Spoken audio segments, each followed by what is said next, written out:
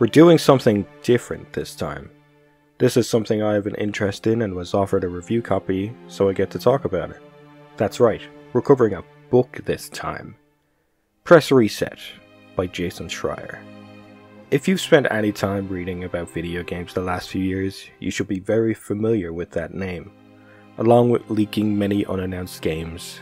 He's written such hits about toxic work culture in games development during his days at Kotaku, like Inside the Ghosting, Racism and Exploitation at game publisher Nicalis, and How BioWare's Anthem Went Wrong. These days, he writes about the games industry for Bloomberg. I've always been interested in what it takes to make a work of art, and make no mistake, even the trashiest games are art. I listen to film commentaries, watch the behind the scenes making of features, but for video games, all we really have is YouTube documentaries that are mostly recorded after the fact, and none of them talk about the elephant in the room, the publisher. Press Reset covers the systematic destruction of well known studios through years at the hands of executive decisions and creators being too niche to make the money demanded of them from higher ups. At least, that covers most of the stories in this book. Among that, we have some developer history to dig through, and much like Schreier's previous book, Blood, Sweat, and Pixels, Press Reset does go into the production history of a few of the games that prefaced some of the studio's downfalls. But primarily, we follow the lives of specific developers, their struggle with burnout, and their growing dislike of the unsustainable AAA development machine that chewed them up and spit them back out again. We follow their attempts to make a new life after a studio shuts down, and Jason pays particular attention at the end to finding a way to fix these problems. The stories are told in a springy, succinct prose style that I don't think really prepares you for how rough some of these people have it, but the book is written so people who don't even have an interest in video games understand what's going on.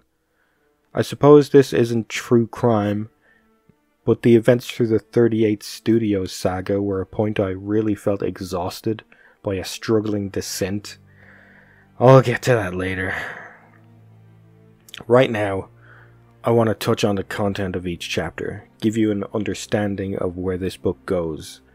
If you're going to get the book based on my recommendation and want to go in blind, a lot of what's covered throughout this book should be familiar over years of press releases about studio shutdowns.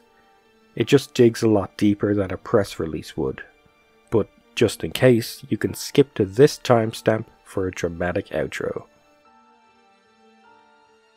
Unlike Schreier's previous book, a lot of the chapters in this book chain together as events cascade into the downfall of multiple studios.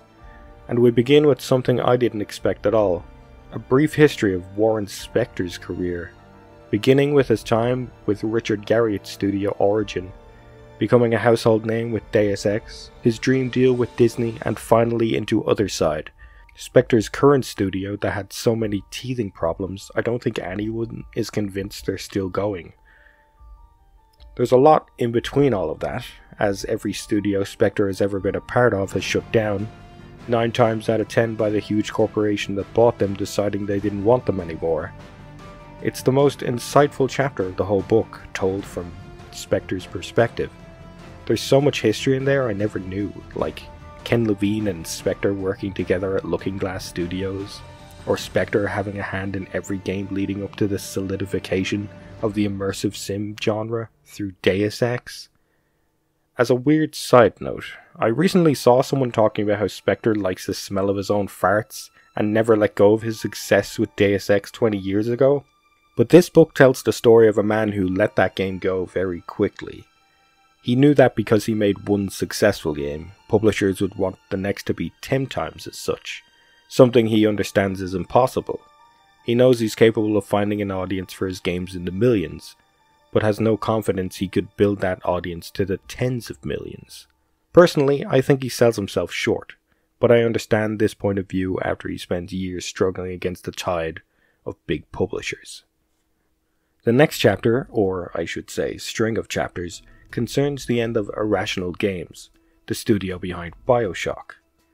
We also follow the effects it had on one of Take Two's other studios, and a studio that rose from its ashes.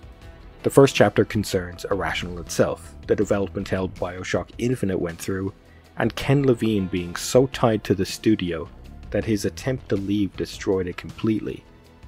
Video games struggle with the concept of auteur theory, but the production woes and subsequent closure really solidified Levine's importance to the whole company. This event was, however, very public, and the chapter mainly goes into the attitudes of people leading up to the closure, the secrecy, and the hope to find a future. The next chapter follows the development team that spun off Irrational Games to pursue the independent market. For a while, there was a slew of Kickstarters pitched as being produced by former Irrational developers, and The Molasses Flood is one of them. This ends up being a story of struggling to make it work, while trying to make sure everyone was on equal footing. That studio still stands today, but you'll have to read the book to find out what saved them. The final chapter in that saga is the tale of 2K Marin, an Australian studio that struggled with its identity, and despite not having a single employee work there for years, 2K Games never officially announced its closure.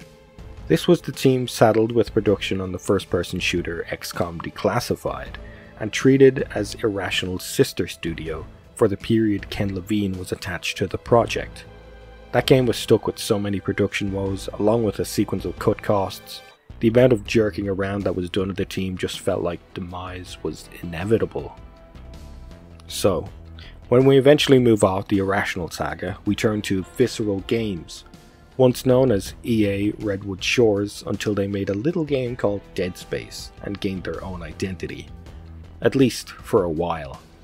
Visceral's downfall has been well documented over the years, such as Dead Space needing to include multiplayer and be less horror, more action for wide appeal. Actually, Around the time I was reading this chapter, EA admitted it's surprised that Star Wars Jedi Fallen Order was successful for a single player game. And this was 10 years after announcing they had no interest in making single player games anymore, which was a big reason for the shift in Dead Space 2 and 3. Now, correct me if I'm wrong, but I believe the last exclusively single player game EA developed in house was. Harry Potter and the Deathly Hallows Part 2 in 2011? Ugh. Well, Visceral soon becomes a team that has to pivot harshly when put on a Battlefield title, and then again when put on a Star Wars title. While this is a story about Visceral being shifted too much and suffering most of its existence, it's also a story of one man experiencing and adjusting to all of this until burnout won in the end. Following Visceral, we have the, um, Amalur duology? Let's call it that. First following 38 Studios, the developer started by former Major League Baseball player Curt Schilling.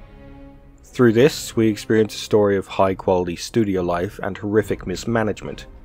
There's so much of this story that's public, and it even had an aftermath that isn't covered in this book, I'd say the first thing anyone would know about 38 Studios was the effort put in to hire massive talent, like Todd McFarlane and R.A. Salvatore. But Schilling's approach to managing a studio was more about celebrity status than getting things done, so you can already see where it started to go wrong. Needless to say, the World of Warcraft killer that was promised never came out. Not because it was stuck in development hell, but for a single sentence spoken by a Rhode Island governor. Secondly, we follow Big Huge Games, the studio behind the Kingdoms of Amalur game that did come out, Reckoning. Originally entirely separate from Amalur, 38 Studios bought them out, and the game became another part of Schilling's doomed fantasy universe.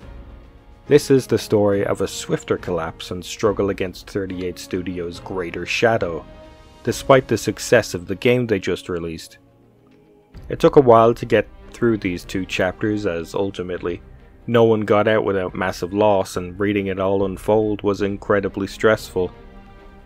The last studio we follow is Mythic, which presents us with an interesting story of a pre-World of Warcraft MMORPG studio forced into mobile game development, with understandably disastrous results.